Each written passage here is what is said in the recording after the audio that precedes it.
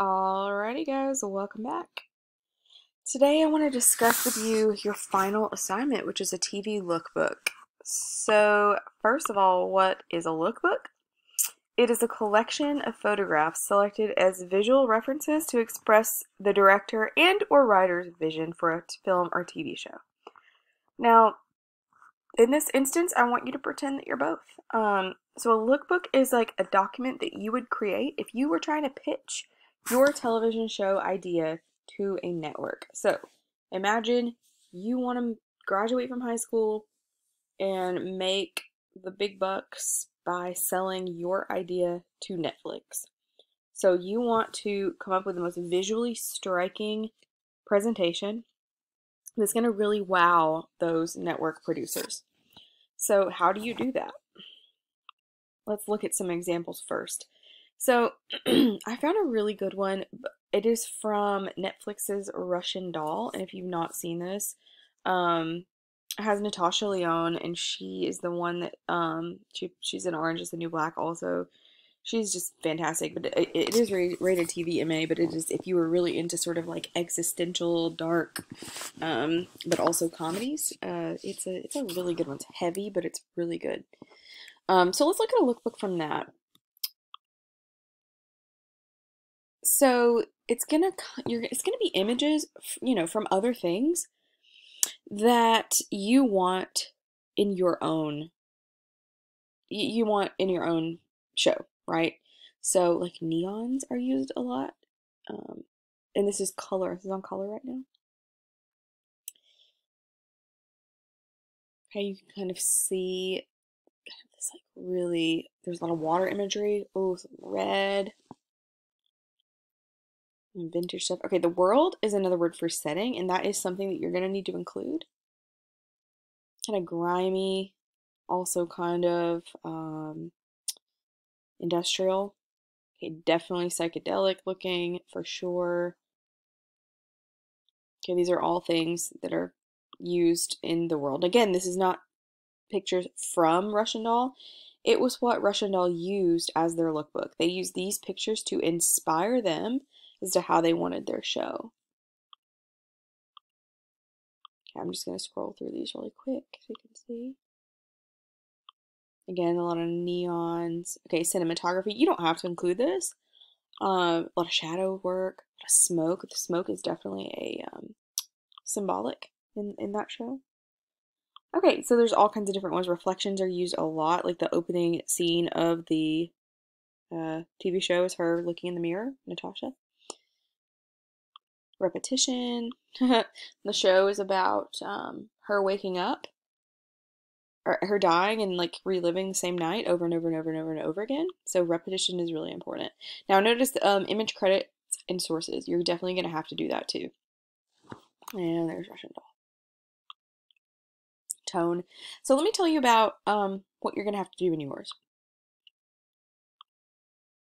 So your lookbook is going to be a slideshow presentation and it should include your name, okay, title of the show, so you make it up, like it's, it's your show, whatever you want it to be. A brief description, so like a log line, so like basically like the, the premise of your show. And the definition, so this is specific to TV. So do you want it to be multi or single cam? So multi meaning it's in a studio with a laugh track. Single cam means you different have different locations. Is it going to be a half hour or an hour? Will it be serialized where we have to, um, you know, tune in every week in order to understand what's going on? Or will it be a sitcom where we can just jump in and, and, and watch it, kind of like feel good type show? Or is it going to be kind of a mix of both? And then the genre, you know, is it going to be uh, comedy? Is it going to be drama? Is it going to be a crime show? You tell me. Tone. So you're going to include two to three pictures on tone. So I want to show you some examples of some people last semester that did a really good job with tone. Um, this is Cheyenne Parker's, and she came up with a TV show called Drowned. And you can see, like, from the get go, she's created this backdrop, this background on her slide that it, it's very reminiscent of water. Her premise is when a young girl in an abusive relationship is an in an accident, she seeks revenge on her manipulative fiance and his new lover. And her definition is single cam, serialized hour format and it's a drama. So really simple. That's all you got to do. So again, she's got her title of her show, her name, her definition, um, and her her log line or her her premise. Now you can do that all on one slide if you want, or you can separate it like she did. Up to you. So um, and she put some further further description as well. You don't have to. Okay, here's her tone. So now she included a lot of words here, but you don't have to do that. All you have to include are pictures. So all you have to have are two to three pictures.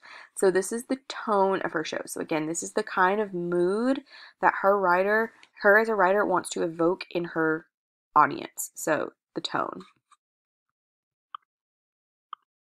Okay. The next one is world. Okay, so again, you need two to three pictures. In the world, all that it means is the setting, big and small. So it could be this, the, their apartment or their house of your characters, or it could be their city, it could be the country that they live in. It just depends on their show. Okay, so for her, the world, somewhere high class, maybe royal, lots of expensive and elegant buildings. So again, like a really brief description, but your pictures kind of speak for themselves. Okay, there's also she like put some really interesting things here about a dock and some imagery. Let's look at a different example. Um, this person, Audrey Hamby, she's amazing uh, writer too. So she had a premise for a show called In the Shadows. So again, like she used a lot of colors and a lot of design to evoke the the tone and the mood that she wanted. So again, her name, her title, and then here is her description. So her logline is when Elise Wakefield is forced into an arranged marriage, she finds a way out through an underground gang ruled ruined to be a ghost. I think she meant rumored to be a ghost. The young girl finds herself entangled deeper than she could ever imagine, and it's a gothic period drama. Now, this is a very specific genre. Um, you don't have to be that specific, but she really likes sort of like the period pieces, like gothic, uh, you know, Victorian, that kind of thing. So that's fine. Um, hour long premise, single cam. So um, this is like in a studio. And then she had like this really cool quote here too to add a little bit of um, depth to her to her story. So her tone. So the general character or attitude of a place, piece of writing, or situation. So she defined tone for us. And then that's her tone right here. So again, you're looking for these pictures that you that however you want your your audience to feel through those through those images. Here's some more about tone. Okay, her world. So let's talk about setting. So again, Victorian era England. Um, yours might be in the modern world. Okay, it's up to you. Okay, so she put some, some pictures of Victorian England. Again, like these, she like really went above and beyond. You don't have to do that, but she already thought of some very specific places that she wanted. Ooh, very interesting inciting incident there. The last thing um, is color. Okay, so you need to include one, two, three buckets. So tone is your first one, world is your second, and color is your third one. Your fourth one is going to be a free choice element, and it could be anything like costume, camera angles, desirable lighting, character, etc. So I'll show you some examples of that too. So we're going to be going over color and free choice. So I'm going to go back to Audrey's. Okay, so the color is like what kind of colors you want to have as your color palette in your show. And she did just a color palette here, which I thought was pretty cool. And you can see that her own background, um, it, it, it used those colors as well colors that blend. Okay, and again, above and beyond, you need two to three pictures. That's it.